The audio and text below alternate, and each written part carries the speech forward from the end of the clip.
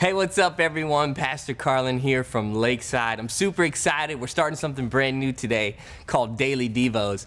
Uh, we saw such an amazing response from our 15 days of prayer, and we saw how encouraging it was to you. So, we wanted to continue that daily encouragement through these devotionals. So, for the next 15 days, you'll be hearing from myself and our other staff members as uh, we bring a word to encourage you every single day. So, make sure you tune in. If you don't like us on Facebook, go ahead and like us, follow us on Instagram, subscribe to our YouTube channel. That way, you don't ever have to miss a thing, and you can stay connected to us, and we can stay connected uh, to you. So, I'm super honored to teach the first day. You know, I remember growing up, uh, me and my brother and our best friend, we played outside every single day. You couldn't get us to not play outside. We were either playing basketball or baseball on the side of the house or roller skating or skateboarding or uh, maybe we were just even riding our bike. And uh, every day we were outside. And what would happen to us oftentimes is that we would end up getting chased by a dog in our neighborhood. There were tons of dogs, and we'd always get chased. And what would happen was we would be minding our own business. And I'm sure many of you are at home laughing at me right now, and that's okay. This this was my childhood.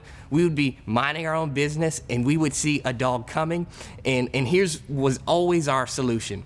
We would jump onto the nearest car that we could find not my parents' car, not my own car. Like it could be a random stranger's car. It didn't matter. We just had to get to that place of safety. We were just going to get on top of a car and stand on it until the owner called their dog back. And that was just a regular occurrence. That happened like every single week. And I can remember this specific time where this dog came chasing after me and I felt a real fear. Like I feared for my life. I was genuinely afraid that I was going to get killed by this dog. So I can remember shifting my focus off of the dog and onto the nearest vehicle that I could see. And I began to sprint and go as fast as I possibly could to get on top of that vehicle. Because to me, that was a safe place. That's, that was a place where uh, that dog could no longer harm me. I tell you that story to tell you this. Uh, in, in a time when it's so easy to be focused on the issue and the problem, I think it's extremely important that we be focused on Jesus. You know, it's not so much of what you're running from,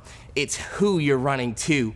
And I think in this time, we should be running to Jesus, running to His Word, spending time in His presence, running to God. I think that's extremely important. And the verse of Scripture that I wanted to share with you today, and it was extremely encouraging for me, it's uh, Matthew uh, chapter 11, verse 28. The Bible says, uh, Come to me. This is Jesus speaking. He says, Come to me, all of you who are weary and carry heavy burdens, and I will give you rest.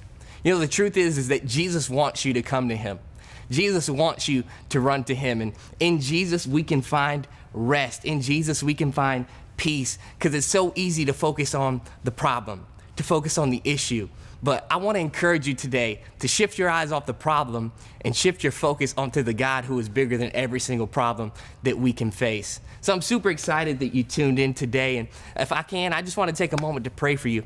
Father God, I thank you for uh, every person that might be tuning into this today, God. I just pray that you would give them a peace that surpasses all understanding, God, that peace that comes from you. Help us not to focus on our issues, but help us to focus on you, God, and to be spending time in your presence and spending time in your word, God. And I believe that if we are uh, disciplined and that if we do that, God, that you'll give us rest and you'll have, give us peace in the middle of the storm.